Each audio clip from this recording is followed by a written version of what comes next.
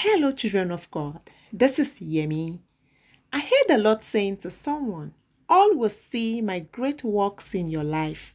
They will be first hand witnesses of your vibrant existence and you being in the center of my will.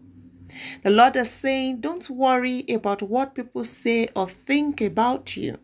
He's saying to you that those who doubted your potential, those who think you would not make it, those who have sidetracked you and have written you off because of one thing or the other, will witness with their own eyes what He is making of you.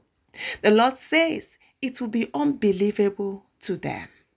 The scripture that the Lord gave me for this word is Genesis 45 and 12. It says, Then Joseph told his brothers, you can all see for yourselves, including my brother Benjamin, that it is really me talking to you.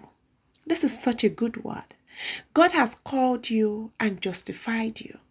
And this is your time of glorification.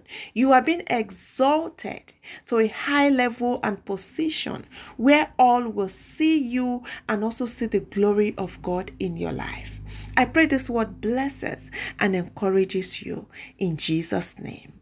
I love you and I'm praying for you. God bless you.